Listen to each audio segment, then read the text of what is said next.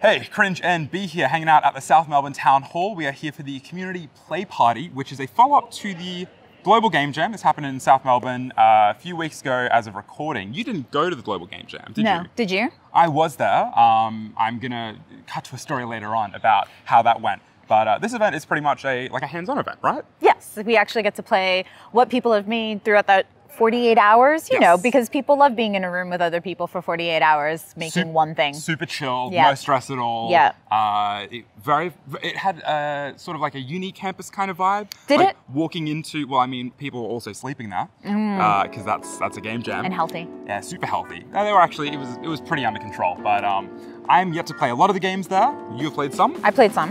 Um, and uh, yeah, there's a lot going on. So uh, let's head on in and check it out. So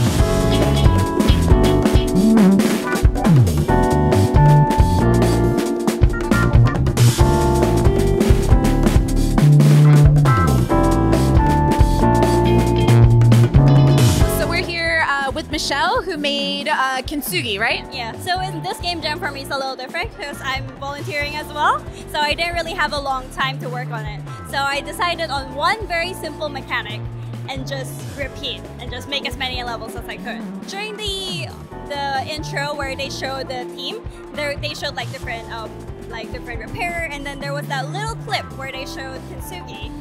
And I thought it was quite interesting because it's the Japanese art of repairing ceramics with gold. And it's not about covering your imperfection, it's about embracing it. And I thought that was a really good concept because like, you know, like you, you fall, fall apart, but then you can put your back put your put yourself back together again and that makes you more beautiful. Like your scars define you. So yeah. It's a really cute game, and if you make more of it, I'd love to play more of it. All right, thank you.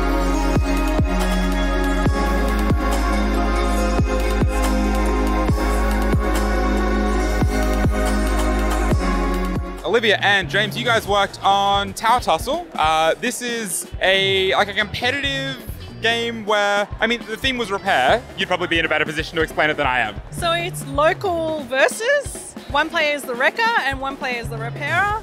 And you're just like pitted against each other. There's a 20 second clock, so it's really short and intense. And it's all physics based. So as the wrecker, you're trying to whirl the wrecking ball around and just destroy the tower.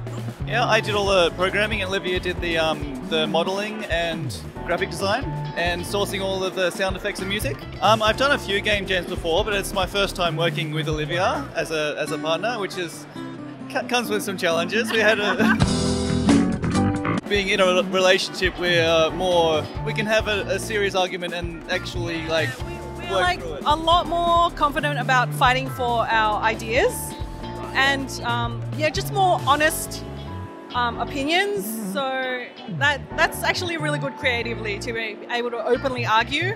Whereas I feel like if I was with a stranger, I wouldn't push my ideas very much. So yeah, I think that was pretty good working together.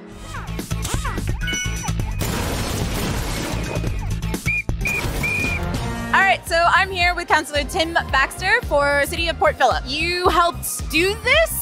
Yes, absolutely. Well, we're, we're one of the principal sponsors uh, of this event, and uh, we're really excited to uh, have helped fund this through the Love My Place um, grants that we uh, that we do, uh, and uh, we're just wanting to have a deeper and stronger relationship with game developers and creators uh, in our municipality. So, is there a reason you're so passionate about video games compared to, I mean, not that you're not passionate about other ones, but is there a reason that this is a little bit more direct? For sure. Well, look, um, personally, I'm a gamer, um, and so that's I, I've got a passion there already. But um, when I got onto council, uh, I knew that there were a lot of game developers around this area, and I said to the staff, "Can you just find out what's the economic impact? Like, how big are they?" Um, and they uh, went away and they came back and they said, "Well, um, uh, creative, digital creative arts account for about 35% of economic activity in the city of Port Phillip." And I went, "That's enormous. We, we, we- we need to plug into this to these people. They're they're they're generating so much, uh, you know, creative output. They're making money. They're employing people. Like it's fantastic. We said. Um, why don't we uh, fund uh, part fund the uh, the jam and the community play party where we can take a, a big beautiful public place like our South Melbourne Town Hall and uh, invite the community to come in and play your games. So, I've heard that Port Phillip is actually uh, has a game development action plan. Can you tell me more about that? Yeah, absolutely. So we're developing our game action plan. It's going to be out later this year. Uh, and it's basically going to be our roadmap to making Port Phillip the uh, games capital of Victoria. And we're not just talking about digital video games, we're also talking about um, you know, activating uh, our spaces through play. Um, it's really about making games and play and uh, the way that we interact through each other in a playful manner uh, a real focus for our council. So that means working with the games industry. It means getting jammers to come up with creative concepts for us. It means doing things out in our streets. Um, it's there's going to be so many ways it intersects with different parts of our life, uh, and I'm really looking forward to it because it's a it's a local government first. No other council is doing this, and uh, we're really proud to be leaders in this way. Awesome, that's so exciting. Thank you so much. No worries. Thank you very much, and um, happy jamming. So this is the community play party at the South Melbourne Town Hall, but this isn't the actual game jam. Melbourne Global Game Jam happened at JMC Academy in South Melbourne, and I went to check it out.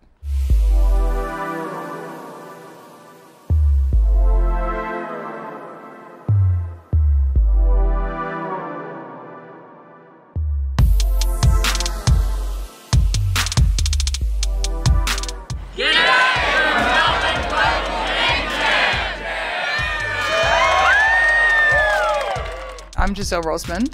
I've been running Melbourne Global Game Jam for 10 years now, and I'm also the Regional Director for Australia and New Zealand. A game jam is an event where small groups of people get together over a limited period of time to make a game generally based on a common theme. See, I've done that before. I'd started organising IGDA Melbourne, which is the International Game Developers Association. So that was in 2009, and by the end of 2010, we'd heard about this game jam thing, and it sounded like a bit of fun. I was working at La Trobe University at the time, and somehow I managed to convince them to let me host a jam there. It was 70 then. You have 200 and something now? Yeah, uh, we're at about, I think about 230 this year. We maxed out the year before last, we had over 300, and I found a number that's too many. And that's it. We announce a theme. We have just announced it here in Melbourne repair. And so now some teams have already formed, some people are still trying to find their teams. And then they all sit down and brainstorm and think, what kind of game am I thinking I want to make based on the idea of repairing? We get a lot of students jamming, and it's a great spot for them. And there are people who've been studying for two and three years and they've never finished anything, like ever. Yeah. Finished a game. And so when you see those kids at the end of a jam and they've Got it. They've made a shiny new thing and it wasn't there before, and they've made it all from go to woe. And they light up and they're just so. That was amazing. and yeah, and then I end up in tears and then I come back again the next year, so that happens again. I'm Ella, And I'm Kerry. I'm working on the same game. our team name is Cautiously Hopeful. Not too hopeful, just like appropriately hopeful. Cautiously. Yes. Yeah. Our game is called uh, Hey, Hey, we need to talk. we need to talk.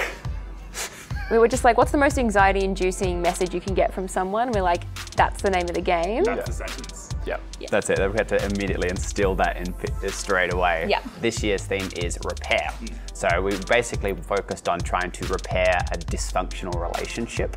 Whether that works out, whether that doesn't work out, or I guess you'll have to find out. I mean, spoiler alert, there are no happy endings here. I basically wanted to, to paint a picture where you were you were kind of seeing this, learning about this relationship as you were trying to repair it at the same time. Right. Um, and you're starting to understand where the communication breakdowns were coming from as you were get, As trudging play through the story yeah. and like. You are, uh, Ella, in charge of the sort of narrative design, and Carrie, you you said production, but I was Yeah, I'm a jack of all trades, master of none. Um, yeah. Make um, sure that we all do stuff. Yeah. Right. I didn't want to, to jump in straight away because I was like, ah, I don't know what type of applicable skills I have to a game jam, but. You've had whoa, I've been busy. Yeah. I have not had a moment of rest, which is a good thing. Yes. Because that is what my biggest fear was having nothing to do, and that is the complete opposite of what You have happened. so much to do. too much. A big thing about getting into like uh, full-time work in the dev, game dev community is your ability to work in a team Yeah. and to effectively communicate your your needs. Game Jam is just a hyper concentrated version of that. It's a, it's a pressure cooker. A lot of people, I think, coming into game dev, they're just like, oh, I just need to be the best at art or the best at programming. But what a lot of them aren't told necessarily at uni, and I wish that this was communicated more, and I think that a lot of universities are putting more work into this, is that being able to work in a team is much more valuable than being just a little bit better at the skill that you're specializing Mm, in. Because it is such a collaborative environment and you have to have good people skills and problem solving skills. It is so vital when you work in these huge teams with so many moving parts. Mm, absolutely. And you should kind of know a little bit about what each role does. Yes, and you definitely learn that here. Oh, yeah.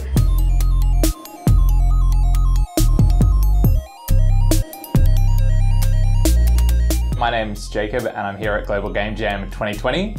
Uh, I'm in the team Super Chill. I'm Sarah. I'm also working at Super Chill. I'm the artist primarily for this, so I'm making all our 3D assets. And we're working on a game called Now This is Art. You play as a child who has been tasked with restoring famous classical artworks from Van Gogh and Dali, etc. But the only tools you have at your disposal are child's arts and craft tools, such as glitter glue. Yeah, and it, it plays kind of like MS Paint, so it's like Kid Pix, like that's what the controls are like. The reason our team name is Super Chill is because that's how I approach the game jam, is to just be really chill and relax about it. So it's like, we're not really stressed out, we're taking it easy, and as long as like, even what we've got right now, most of us are like, yeah, I'm happy this is like a game and it's a thing, and whatever we can do from there is gonna be good too, so yeah. When we were ideating our concepts, we made sure that those concepts were really, really small. We just started out working out who the protagonist was and what the goal was, and then the main thing that they do. A- And that was it. And that is Yeah. Uh-huh. what our entire game is. There's no other kind of conflicts or. You're just, uh, you're just having fun basically. Making Yeah. art. Yeah, so Kid Pix, man. that influenced the, the the level of production. We knew that there was just those kind of three things to do. This is our third. Yeah, this is our third Global global Game game jam. We did the first one together, second one separately, and then we did another game jam together that we didn't finish. We didn't finish Ludum Dare. I did one of the Gogik Academy game jams like over a year ago. For me, it's definitely about like making sure my skills are still being polished, making I'm still working on things, making sure I'm adding to my portfolio where I can, and meeting other game developers and like networking and just working on my career, like the start of my career, basically. Yeah. I would say for me, it's uh, about experimenting with new ideas um, and something that's more about expression and fun and just being creative and really flexing creative muscles. Learning some new things along the way as well is, is inevitable and part of it, but that's what really excites me is the experimentation and doing something that I would never take the time to explore.